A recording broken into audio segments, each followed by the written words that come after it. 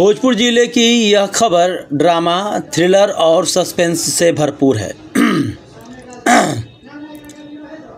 भोजपुर ज़िले की यह खबर ड्रामा, थ्रिलर और सस्पेंस से भरपूर है। यहाँ एक महिला की एक लड़के के साथ शादी होती है। महिला का पति उसे खूब मारपीट करता है। महिला अपने पति से परेशान होकर मायके अपने माता पिता के पास चली आती है। दो महीने बाद उसकी माँ का निधन हो जाता है। कलयुगी पिता अपनी ही बेटी पर बुरी नज़र रखने लगता है। पिता की हरकतों से परेशान और पति की मार से तंग होकर महिला आत्महत्या के लिए रेलवे स्टेशन पहुँच जाती है। यहाँ से उसे एक व्यक्ति बचा लेता है और अपने साथ चलने को कहता है। दोनों एक मंदिर में जाकर शादी कर लेते हैं। इधर महिला के पति को लगा कि बेटी मर गई है। और उसने अपने दामाद खिलाफ हत्या का मुकदमा दर्ज करवा दिया। पुलिस ने महिला के पहले पति को उठा लिया और जेल में बंद कर दिया। कुछ दिनों बाद एक लावारिस लाश मिली और पिता ने उसे अपनी बेटी का शव बताकर पहचान कर ली।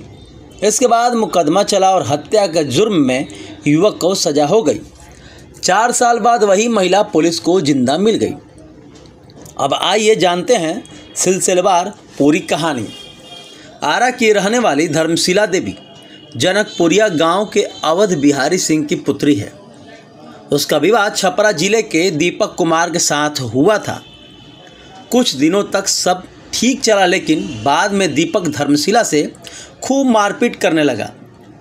पति की प्रताड़ना से तंग आकर वह मायके अपने पिता अवध बिहारी के पास चली आई, लेकिन उसकी किस्मत ही खराब थी।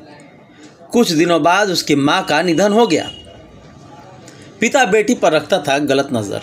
जी हाँ धर्मशिला की माँ के निधन के बाद उसका पिता अवध बिहारी सिंह उस पर बुरी नज़र रखने लगा। यह धर्मशिला ने पुलिस को दिए बयान में बताया। इन सब चीज़ों से परेशान होकर धर्मशिला ने आत्महत्या करने की सोची और वह रेलवे स्टेशन के तरह पटरियों की ओर जाने लगी। सामने से ट्रेन को आते देख एक युवक ने धर्मशिला को बचा लिया। इसके बाद युवक ने धर्मशिला से उसके आत्महत्या को करने की वजह पूछी। धर्मशिला ने उस युवक को सारी बातें बता दी। युवक धर्मशिला को अपने साथ ले गया और दोनों ने गांगी पर मौजूद विश्वकर्मा मंदिर में शादी कर ली और आरा में ही रहने लगे। धर्मशिला ने बताया कि उसके एक बेटा और बेटी दो बच्चे भी हैं। धर्मशिला के पिता ने दर्ज करवाया दामाद पर हत्या का मुकदमा। अवध बिहारी को जब खोजबीन के बाद धर्मशिला नहीं मिली तो उसने धर्मशिला के पति दीपक, ससुर प्रमोद सिंह और भैसुर रविशंकर पर हत्या का केस दर्ज करवाया। पुलिस को इसी दौरान इकतीस अक्टूबर 2020 को थाना क्षेत्र के सोन नदी के किनारे से एक सौ मिला था, जिसकी पहचान अवध बिहारी सिंह ने अपनी पुत्री धर्मशिला देवी के रूप में किया था। जिसके बाद पुलिस ने सौ का पोस्टमार्टम भी सदर अस्पताल में करा दिया। हत्या के आरोप में पुलिस ने धर्मशिला देवी के पति दीपक को जेल भेज, भेजा था। चार साल बाद पुलिस को मिली धर्मशिला देवी। चार साल बाद पुलिस को धर्मशिला देवी ज़िंदा मिल गई। महिला धर्मशिला देवी सहार प्रखंड की रहने वाली है। धर्मशिला देवी को पुलिस ने बरामद कर एक सौ चौंसठ का बयान कोर्ट में कराने के बाद मेडिकल जाँच सदर अस्पताल में कराया। 17 अक्टूबर 2024 को टाउन थाना के पुलिस ने धर्मशिला देवी मीरगंज मोहल्ला से बरामद कर चौरी थाना पुलिस को सुपुर्द किया। धर्मशिला देवी ने बताया कि पुलिस मेरे घर मीरगंज में आई तथा अपने साथ थाना पर लेकर आ गई। पुलिस ने बताया कि आपके पिता आपको मृत मानकर आपके ससुराल के लोगों के ऊपर एफआईआर कर दिए हैं। मेरे पिता ने झूठ बोलकर दूसरी महिला के मृत शव को मेरा सौ मानकर झूठा एफआईआर कर पहले पति को फंसाया। मैंने आरा के मीरगंज के निवासी अजय कहार से शादी कर ली है। मेरे दो बच्चे हैं। धर्मशिला आगे बताती है कि जहाँ शादी हुआ था, वो पति बहुत मारता था, जिसकी वजह से हम अपने मायके आ गए यहाँ आने के बाद, दो महीने बाद मेरी माँ गुजर गई। उसके बाद मेरे पिता मेरे साथ गलत संबंध बनाने का नियत रखने लगे। सोए अवस्था में मेरे पास आ जाते और अवैध संबंध बनाना चाहते थे। अब पढ़िए पुलिस का बयान। इससे पूरे मामले में पीरो अनुमंडल में तैनात एएसपी के सिंह ने बताया कि चौरी थाना से जुड़ा एक मामला प्रकाश में आया है, जहाँ 2020 में एक मामला दर्ज कराया गया था। जिसमें अपहरण के बाद सोन नदी में डेड बॉडी मिली थी, जिसकी पहचान घर वालों के द्वारा की गई थी कि वह हमारी बेटी है। लेकिन उस केस में अब ट्रायल भी हो चुका है और उसमें जो अभियुक्त थे, वह सजा के तौर पर जेल भी चले गए हैं। इसके बाद यह लड़की बरामद हुई है। आगे न्यायालय द्वारा मार्गदर्शन लेकर आगे जो भी कानूनी कार्रवाई होगी, उसका अनुपालन किया जाएगा।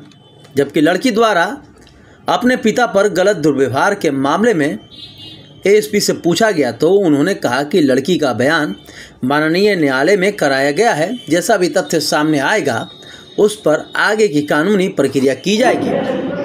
आ रहा रहते हैं। हाँ मीरगंज मिर्गंज हाँ। शादी की है हाँ दूसरा दूसरा शादी किए हैं।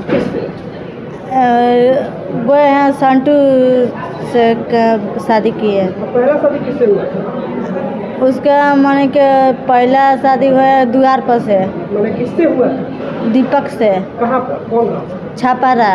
अच्छा तो चार साल में आप दूसरा शादी कर ली। तो हाँ। आपके पापा केस कैसे कर दिए कि आपका हत्या हो गया? तो हम नहीं जान रहे कि माने के अथी केस किया हत्या के। हम्म। हाँ। आपके पापा आपके पापा पापा केस किए थे आप नहीं जानती थी? नहीं हम कुछ भी नहीं जान रहे हैं।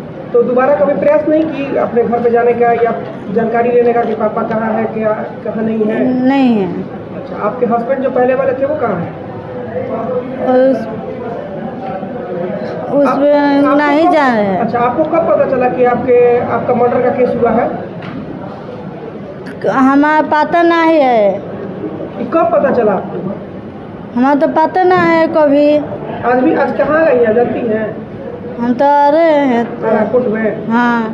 तो आपके पति पहले वाले कहाँ हैं? इनको नहीं पता है? नहीं। जेल गए हैं पता है आपको? ना पता ना है। जेल गए हैं नहीं पता है? ना। अच्छा आपका नैया कहाँ है? जनपुरिया है। शादी पहला कहाँ हुआ था? छपरा हुआ था। पति का नाम क्या था? दीपक नाम था। अभी के वाले पति का नाम क्या है? संटू नाम था। संटू। हाँ। शादी हुआ है? हाँ। आपके पापा आपके ऊपर कार्रवाई मांग मांग करती है? कि झूठा केस में फंसा दिए आपके पति को? हाँ। आपके साथ कुछ गलत व्यवहार भी होता था? हाँ। कौन करता था? कि कह रहे हैं ना कि गलत की काम किए करेंगे तो हम इसके लिए तो भाग गए कौन गलत काम करता था? पापा गिरते थे। आपके पापा? हाँ। आप इसी वजह से घर से भागी थी? हाँ। अच्छा भाग के कहाँ गई थी?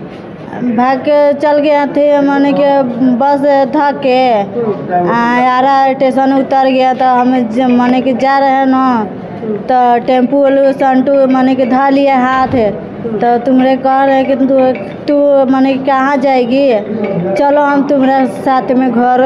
तो दू तो दो दिन के बाद शादी की लिए। कहाँ शादी? अथी। विश्वकर्मा मंदिर में शादी की है। दूसरा शादी के बाद क्या जो बच्चा हुआ? एगो बबी एगो बबू है।